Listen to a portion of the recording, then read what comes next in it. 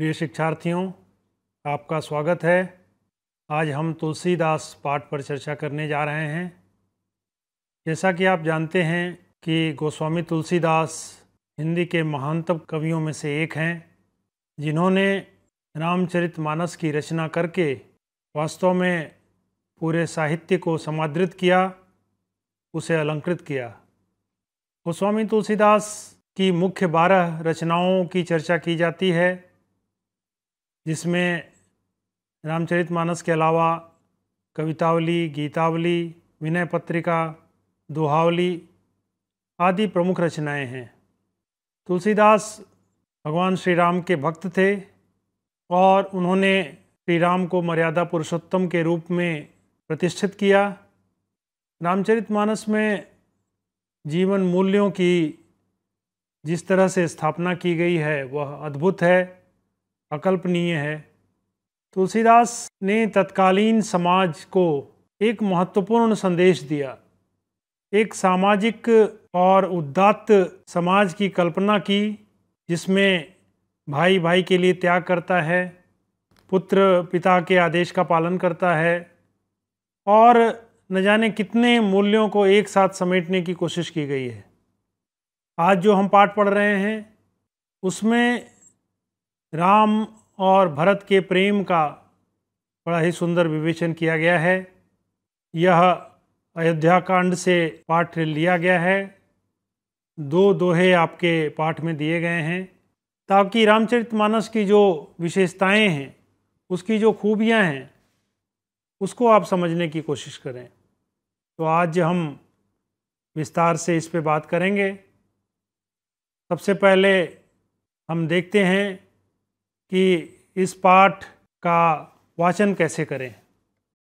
सुनि मुनि बचन राम रुख पाई, गुरु साहिब अनुकूल अघाई, लखी अपने सिर सबु छरु भारू, कही न सकही कछु करही विचारू, पुलक शरीर सभा भय ठाढ़े, नीरज नयन नेह जल बाढ़े, कहब मोर मुनिनाथ निबाहा एहितेक अधिक कहूँ मैं कहा। मैं जानऊ निज नाथ सुभाऊ, अपराधियों पर को न काहू। मोह पर कृपा स्नेहु बिसेखी, खेलत खुनिसन कबहू देखी। शिशुपन ते परिहरे उन संगू, कबहु न कीन मोर मन भंगू। मैं प्रभु कृपा रीति जिय जोही, हारे हूँ खेल जितावही मोही। महु स्नेह संकोच बस सन्मुख कही न बैन, दर्शन त्रिपित न आज लगी, प्रेम पियासे नैन। विधि न सकेहु सही मोर दुलारा, नीच बीचु जननी मिसपारा यह कहत मोहि आजु न शोभा, अपनी समुझी साधु सुचि को भा मातु मंदी मैं साधु सुचाली, उर अस आनत कोटि कुचाली। फरई की कोदव बाल सुशाली मुक्ता प्रसव की सम्मुख काली सपने दोष कलेसु न काहू, मोर अभाग उदधि अवगाहू। बिनु समुझे निज अग परिपाकू जारी जाय जननी कही काहू। हृदय हे रिहारेहूँ सब ओरा एक ही भांति भले ही बल मोरा। गुरु गोसाई साहिब सिय रामू, लागत मोहि नीक परिणामू। साधु सभा गुर प्रभु निकट, कहूँ सुथल सति भाव प्रेम प्रपंचु की झूठ फुर जान ही मुनि रघुराव शिक्षार्थियों, इसके उद्देश्य पर चर्चा करते हैं। इसका उद्देश्य है, भरत और राम के प्रेम को गहराई से देखना। उसका वर्णन करना। दूसरा उद्देश्य है कि बड़े भाई राम का जो भरत के प्रति आदर भावना थी, उसका आप उल्लेख कर सकते हैं। तीसरा है, भरत के चरित्र की विशेषताओं को उद्घाटित कर सकते हैं और उसके साथ साथ अनेक उदाहरणों के आधार पर तुलसी की भाषा और शिल्प पर भी आप उल्लेख कर पाएँगे। इन्हीं उद्देश्यों को देखने के लिए आइए सबसे पहले हम पाठ के पहले अंश को देखते हैं।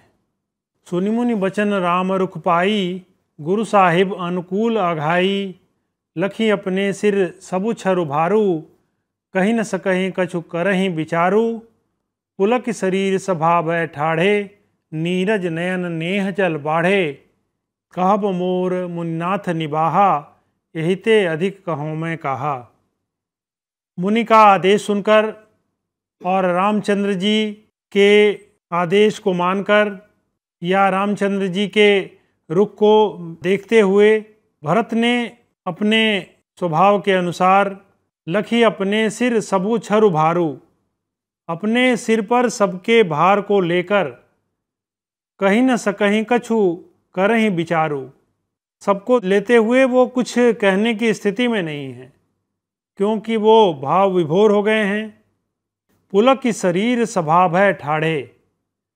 उनका शरीर रोमांचित हो रहा है। सभा के बीच में खड़े हो गए हैं। नीरज नयन नेहजल बाढ़े। उनके कमल नयन प्रेम रूपी जल से आप्लावित हो गए हैं। ये पूरा चित्र दिया गया है।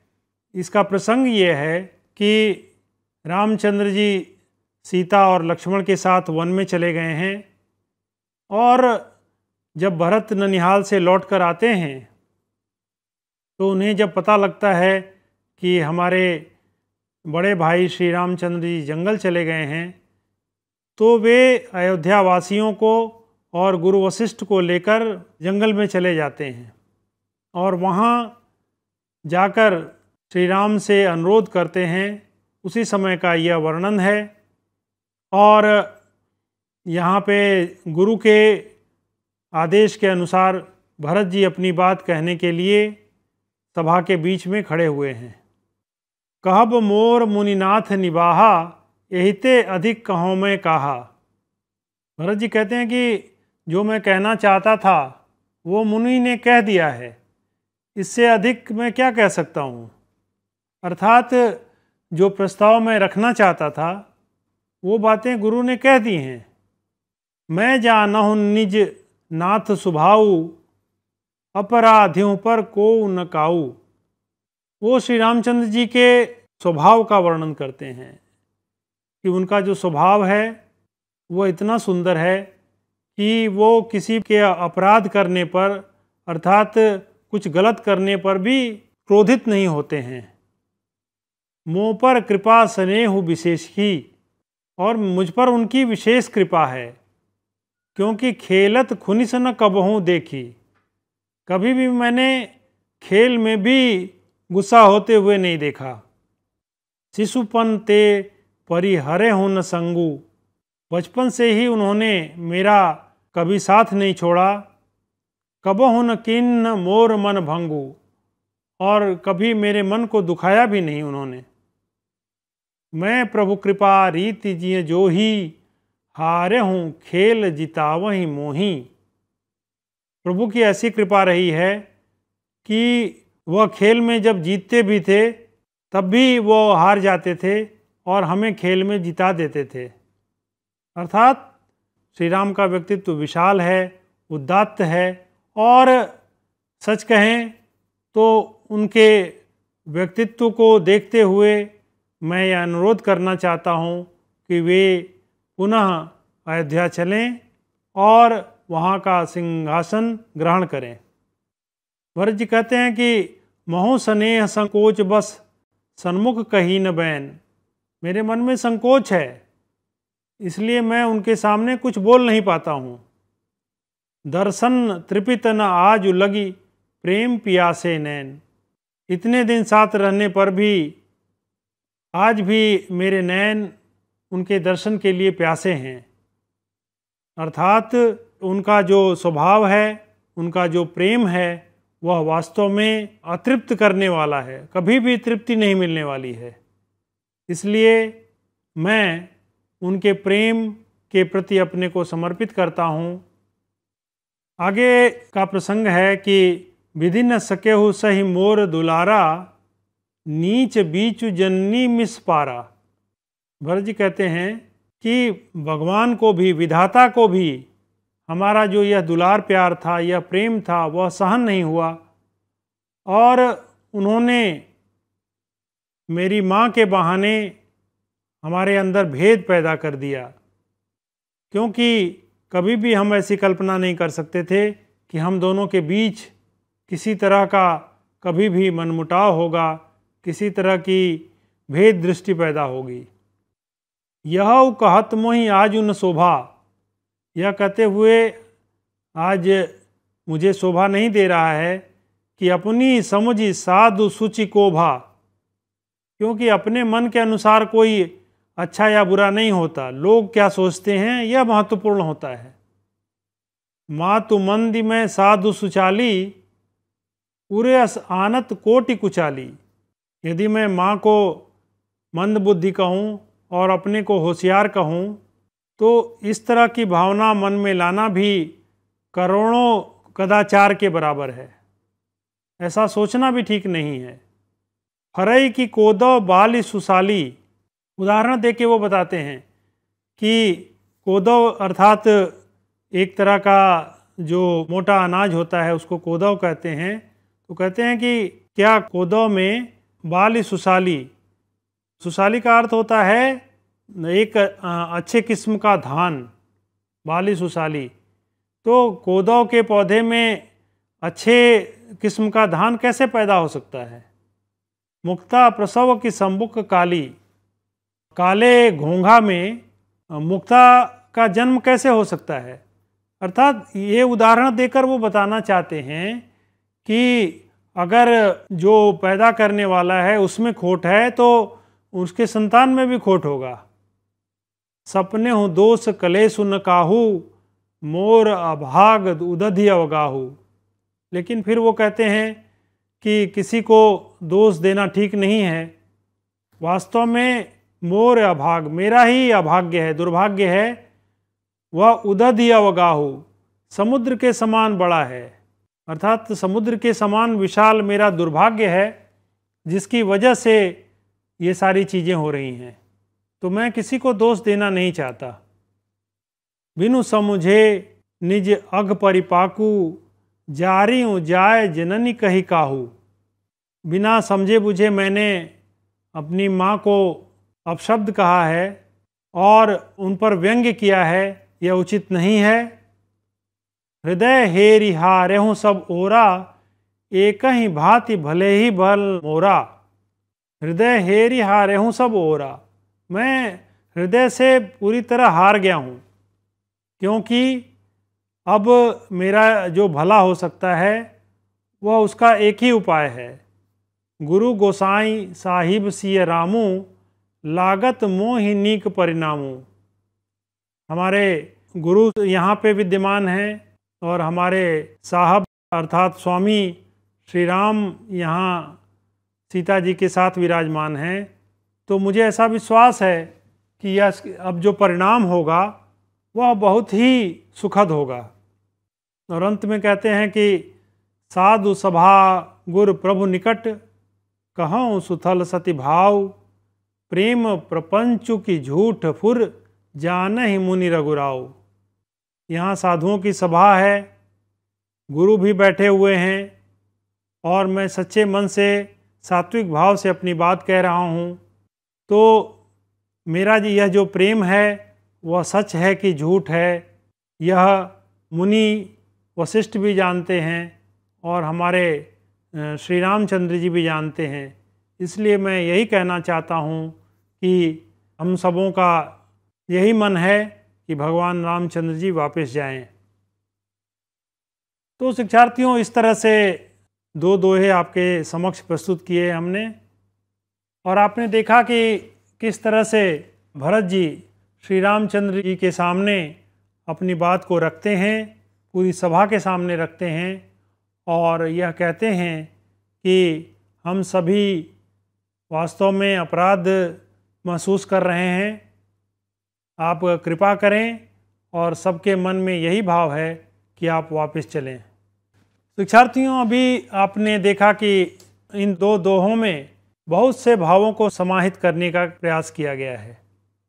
इसमें भरत का प्रेम भी उजागर होता है, श्री रामचंद्र जी के प्रति उनका आदर भाव भी प्रदर्शित होता है, गुरु वशिष्ठ के प्रति उनका भाव प्रदर्शित होता है। अपनी माँ को वह कठोर शब्द भी कहते हैं, लेकिन फिर उसके लिए वह क्षमा याचना भी करते हैं। कि किसी के प्रति आप शब्द कहने का उनका अधिकार नहीं है। उसके बाद हम देखते हैं कि बड़े आदर के साथ अपना अनुरोध प्रस्तुत करते हैं और इन सब चीज़ों को तुलसीदास ने बड़े ही मार्मिक ढंग से प्रस्तुत किया है। रामचरित मानस का पाठ करें तो देखेंगे कि भरत का जो प्रसंग है अयोध्याकांड में, वह बहुत ही मार्मिक है। और तुलसीदास ने भरत के चरित्र को बहुत ही ऊँचे दर्जे पर स्थापित किया है। सब कुछ विपरीत हो जाए, फिर भी भरत का चरित्र जो है, वह मैला नहीं हो सकता। भरत वास्तव में एक उदात्त पुरुष हैं और उनका जो चरित्र है, वह बहुत ही व्यापक है। तो आप इन बिंदुओं को ध्यान में रखें और अगर मौका लगे तो आप रामचरित मानस का अयोध्याकांड पढ़ें। तो भरत के चरित्र की और विशेषताएँ देखने को मिलेंगी। अब हम इसके शिल्प सौंदर्य को भी देख लेते हैं। जैसा कि अभी आपने देखा कि इसमें भाषा का बड़ा ही प्रभावशाली चित्रण हुआ है। भाषा का उदात्त रूप प्रस्तुत हुआ है। इसमें अनुप्रास अलंकार आपको कई जगहों पे मिलेंगे। जैसे कि, माँ तुमंदी में साधु सुचाली या नीरज नयन नेह जल बाढ़े। इस तरह से आप कई जगह देखेंगे अनुप्रास अलंकार। और नीरज नयन में उपमा अलंकार है, नेह जल में रूपक अलंकार है। तो इस तरह से कई उदाहरणों के माध्यम से भी उन्होंने बात को स्पष्ट किया है। फरही की कोदव बाल सुशाली दृष्टांत अलंकार के माध्यम से अपनी बात को प्रस्तुत करते हैं। तो अलंकार का सुंदर विधान यहाँ किया गया है। और अगर भाषा की बात करें तो यह अवधि भाषा है। जहाँ तक छंद विधान की बात है तो इसमें दोहा चौपाई छंद है। दोहा में तेरह ग्यारह तेरह ग्यारह मात्राएँ होती हैं और चौपाई में सोलह सोलह मात्राएँ होती हैं। तुलसीदास के रचना कर्म को देखें तो उन्होंने अन्य रचनाओं में सोरठा, छप्पे छंदों का भी प्रयोग किया है। और ब्रज भाषा का भी प्रयोग उनकी रचनाओं में आपको देखने को मिलेगा। तो इस तरह से आपने देखा कि ये जो तुलसीदास पाठ है, इसमें भरत का भाई प्रेम दिखाया गया है और इस प्रेम का जो उदात्त रूप है, इसमें जो गहराई है, विभिन्न आयाम हैं, भरत के मन में राम के प्रति बहुत ही आदर का भाव है। और वे चाहते हैं कि राम अयोध्या में वापस लौट जाएँ और उनके साथ रहें, राजगद्दी को संभालें। यह भाई का त्याग है, दिव्य प्रेम है। इसमें हम ये भी देखते हैं कि जो कैकेयी के प्रति उन्होंने कठोर वचन कहे हैं, उनके प्रति भरत पश्चाताप करते हैं और जो उन्होंने कई जगह माँ के प्रति जो गलत शब्दों का प्रयोग किया है, उन सभी के प्रति क्षमा मांगते हैं वो। तुलसी की जो भाषा है और उनकी जो भंगिमाएँ हैं कथन की, उसको भी आपने अभी देखा। कवि शब्दों को बहुत चतुर ढंग से वह प्रस्तुत करता है और मनोभावों के चित्रण में तुलसीदास वास्तव में सिद्धहस्त हैं। तरह तरह की भावनाएँ तरह तरह के विचार बड़े ही उदात्त रूप में उनके रचनाओं में दृष्टिगत होते हैं। अलंकार के रूप में आपने देखा कि अनुप्रास के अलावा उपमा, रूपक, दृष्टांत आदि अलंकारों का प्रयोग किया गया है। तुलसी की भाषा अवधि है। इस तरह से आप इस पूरे पाठ को देखें अगर तो आपको ये प्रतीत होगा कि यह जो पाठ है, वह तुलसी की भक्ति भावना को प्रदर्शित करता है, तुलसी के प्रेम भाव को, उनके समर्पण को त्याग आदि मूल्यों को भी प्रदर्शित करता है और साथ ही साथ उनकी भाषा की जो सुंदरता है, उनका जो शिल्प विधान है, उसको भी कहीं ना कहीं रेखांकित करता है। इसमें जो आपसे प्रश्न पूछे जाएँगे, वह मुख्य रूप से भरत के भ्रातृ प्रेम पर आधारित होंगे। अगर इन पंक्तियों के अर्थ को आपने ठीक से समझ लिया है तो आप आसानी से प्रश्नों का उत्तर दे पाएँगे। इसे बार बार पढ़ें और अभ्यास करें और हम समझते हैं कि आपको इस चर्चा से लाभ हुआ होगा। धन्यवाद।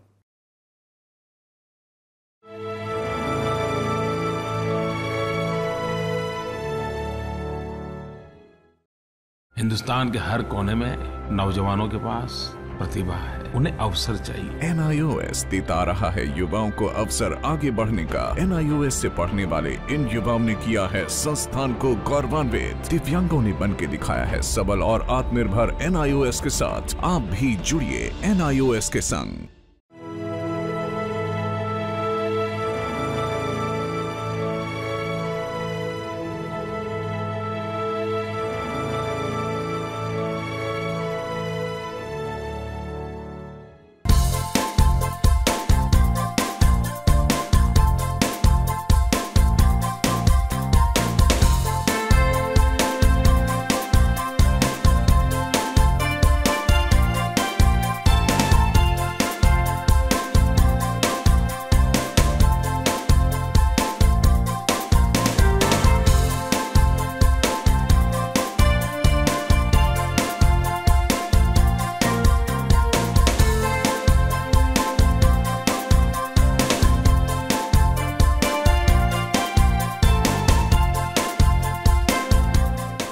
राष्ट्रीय मुक्त विद्यालय शिक्षा संस्थान, मानव संसाधन विकास मंत्रालय, भारत सरकार का एक स्वायत्त संगठन है।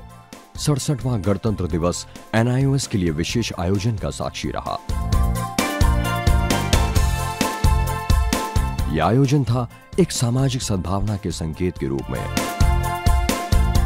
माननीय मानव संसाधन विकास मंत्री श्रीमती स्मृति जुमीन ईरानी ने दिव्यांगों को आमंत्रित किया। गणतंत्र दिवस 26 जनवरी 2016 के परेड में सम्मिलित होने के लिए और इसके अवलोकन के लिए। मेरा एनआईओएस से विशेष निवेदन है 26 जनवरी को एनआईओएस के सौजन्य से ये स्पेशल विद्यार्थी विशेष रूप से दिल्ली आए और गणतंत्र दिवस की परेड में शामिल हों, उस परेड को स्वयं देखें। दिल्ली आएँगे? आना होगा ना सबका?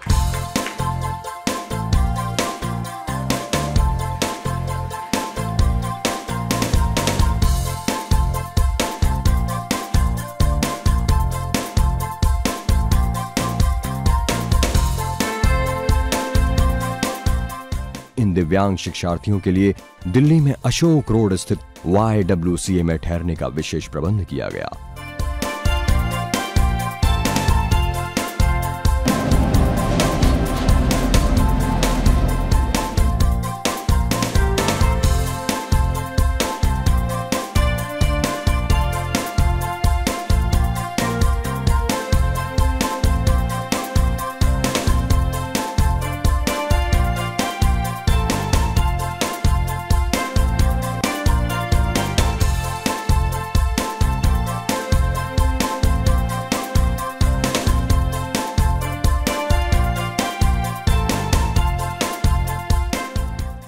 एनआईओएस द्वारा इन दिव्यांग शिक्षार्थियों को राजघाट दिल्ली एनआईओएस मुख्यालय और आगरा भ्रमण के विशेष प्रबंध भी किए गए।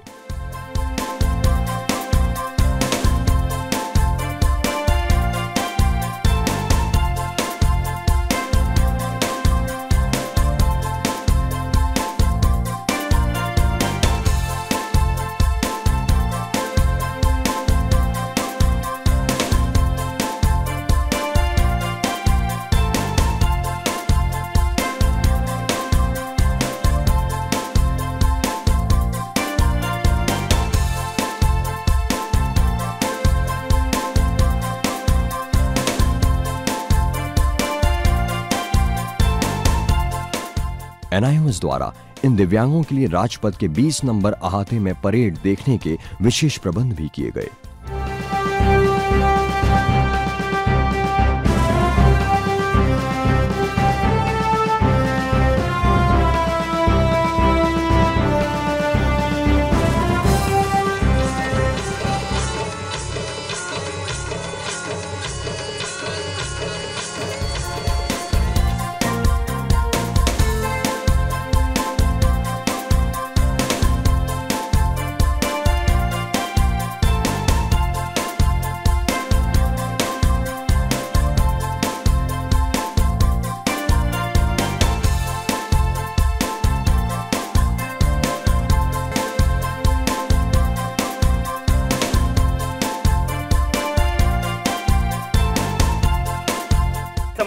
इलाज चाहे सिर्फ़ हमारे पास। N I O S N I O S पढ़ना लिखना सीखो ओ मेहनत करने वालों। पढ़ना लिखना सीखो वो भूख से मरने वालों। दूर दराज क्षेत्रों से आए इन दिव्यांग शिक्षार्थियों के चेहरों की रौनक और आँखों की चमक से खुशी और सौहार्द साफ़ सी झलकती दिख रही है। एन इसके थ्रू हम लोगों को ये मौका मिला है कि हम लोग आगरा और दिल्ली की सैर कर सके। इस एक्सपीरियंस से हमारे बच्चे बहुत ही एक्साइटेड और खुश हैं और हमारी पूरी टीम मेंबर हमारे प्रिंसिपल सर सभी को ये मौका बहुत अच्छा लगा है और वो लोग सब सब खुश हैं। अच्छा एक बात बताइए हमने किसी ने सुना कि आप मोदी जी से पास से बहुत पास से मिले क्या? पहली बार? मोदी ऐसे कर रहे थे? कितने पास से? दूर थे पास ये ऐसे ऐसे। आपको बोला आँखों में देखा क्या? आँखों में देखा क्या? आँखों में देखा। ये इंटरनेशनल टेबल टेनिस खिलाड़ी है। इन्होंने जहाँ गई है वो इंडोनेशिया गई है, जापान से खेल के आई है और इंडिया में कई एक जगह पे खेली है तो वो अपना सारा एक्सपीरियंस ये साइन लैंग्वेज के द्वारा बताई है कि हम हर जगह पे जा रहे हैं और खेल रहे हैं। मैं बहुत खुश हूँ। तो यहाँ आने के बाद लगता है कुछ और अलग ज़िंदगी मिल गया। हमारे पेरेंट्स भी नहीं सोच सकते थे कि हमको ऐसा कुछ मिलने वाला है यहाँ। इसलिए मैं एन की बहुत ज़्यादा शुक्रगुजार हूँ और मैं इनसे हमारी एक रिक्वेस्ट है कि वो हमें और ऊँचा तक ले जाएँ और जहाँ तक हमसे होगा मेहनत करना। हम मेहनत करने में से पीछे नहीं हटेंगे। मैं हमें दिल्ली आने में बहुत अच्छा लगा। मोहला निकनो हलक टुक टुक We saw the Republic Day parade and the fighter planes and Assam and all the jhakias and it was superb, it was brilliant. Yeah, even, yeah, Prime Minister, Prime Minister, we met, we saw him, we shook hands with him. Now the third day, and I was chairman, office we have visited and we've met the chairman. And how do you feel? It was all good, right? Yeah, all of them are very uh, thankful to NIOS for all the support that they do. Thank you. NIOS के लिए ये सौभाग्य की बात है कि इतने सारे बच्चे जो दिव्यांग हैं वो यहाँ आए और इसकी शोभा बढ़ाए कई बच्चों ने ये कहा कि उनके लिए सौभाग्य का अवसर था, लेकिन मेरा ऐसा मानना है कि एनआईओएस के लिए ये सौभाग्य का अवसर था कि ये बच्चे समय निकाल पाए, इतनी कठिनाइयों के बावजूद यहाँ आए और इतने प्रसन्न हैं कि अपनी संस्था में वो आए हैं। एनआईओएस प्रतिबद्ध है। समाज के दिव्यांगों के प्रति गुणवत्ता परक शिक्षा प्रदान करने की दिशा में